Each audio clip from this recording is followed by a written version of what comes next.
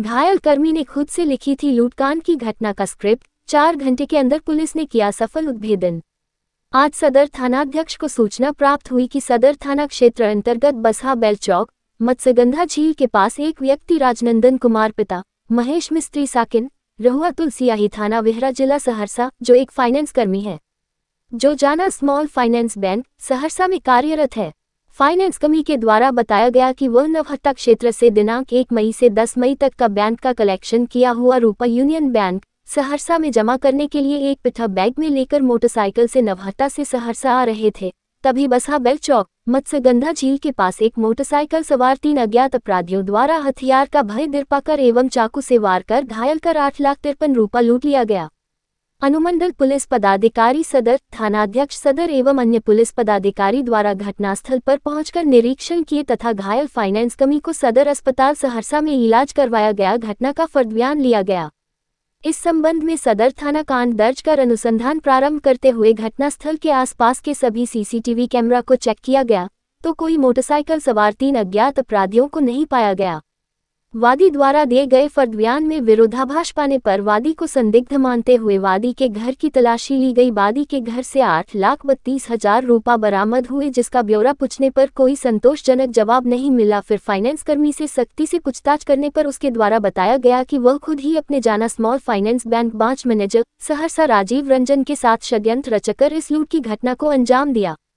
वादी के बयान पर शाखा प्रबंधक राजीव रंजन पिता विंदेश्वरी मंडल साकिन एवं थाना महेशसुन जिला खगड़िया को गिरफ़्तार किया गया। कांड में सम्मिलित अन्य फरार अपराधी कर्मी के सत्यापन एवं गिरफ्तारी हेतु छापामारी की जारी है।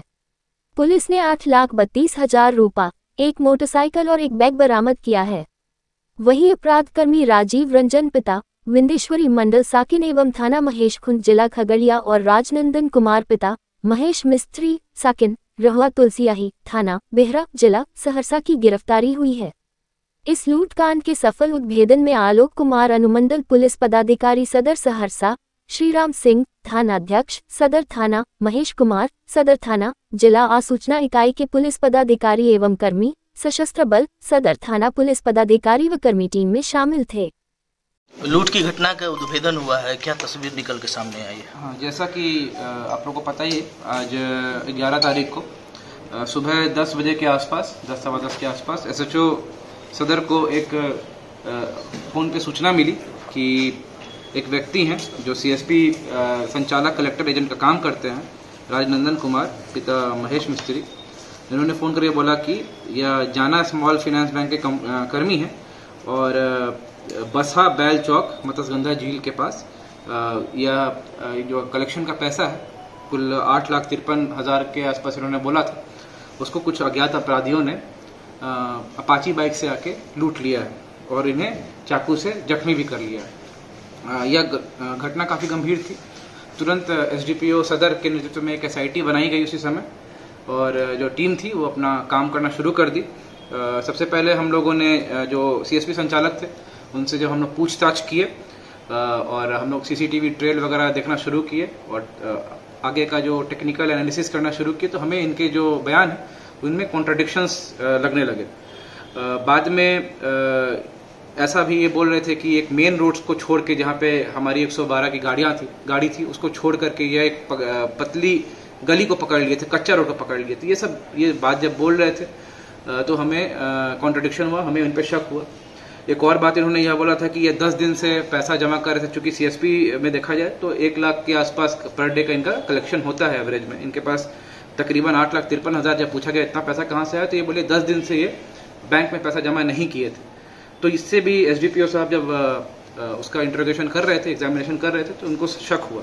इसी शक के आधार पर जब उनकी घर की राजनंदन कुमार के घर की तलाशी ली गई तो उनके घर से हम लोगों ने आठ लाख बत्तीस हज़ार रुपये बरामद किए और जब इनसे पूछा गया तो इन्होंने जो अपना जुर्म है, ये इन्होंने कन्फेस किया। इन्होंने यह बोला कि जो जाना स्मॉल बैंक फाइनेंस के जो मैनेजर हैं, राजीव रंजन, उनके साथ मिलकर इन्होंने यह प्लानिंग की थी कि यह पैसा है, लूट दिखाएँगे और ये पैसा खुद वह रख लेंगे। चूँकि इनके आवेदन पे सदर थाना में ऑलरेडी पाँच सौ बेरासी चौबीस, तीन सौ चौरानवे का केस दर्ज हो गया था तो इसी पे हम लोग अनुसंधान कर रहे हैं। और यह जो घटना घटी इस घटना घटने के पाँच घंटे के अंदर ही हम लोगों ने पैसा भी बरामद कर लिया और इसमें जो कॉन्स्पिरेसी थी जो षडयंत्र इन्होंने रचा था सोची समझी साजिश रची थी उसको हम लोगों ने आ, क्रैक कर लिया। तो मैं एस साहब की टीम को इसके लिए बधाई देता हूँ। इसमें हम लोगों ने दो अपराधियों को गिरफ़्तार किया जो राजीव रंजन है और जो महेश खुंटा जिला खगड़िया के रहने वाले हैं और दूसरा जो है वो राजनंदन कुमार जो तुलसी याही बीरा थाना के रहने वाले हैं। इसमें हम लोगों ने आठ लाख बत्तीस हज़ार रुपये बरामद किए। साथ में जो सीएसपी संचालक का जो मोटरसाइकिल है उसको भी बरामद किया और जो बैग ये कह रहे थे कि जिस बैग में उन्होंने पैसा रखा था उसको भी हम लोगों ने बरामद किया है।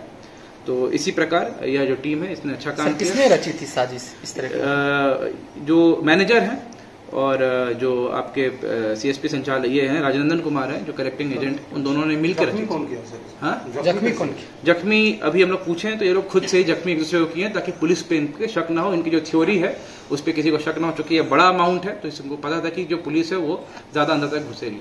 धन्यवाद।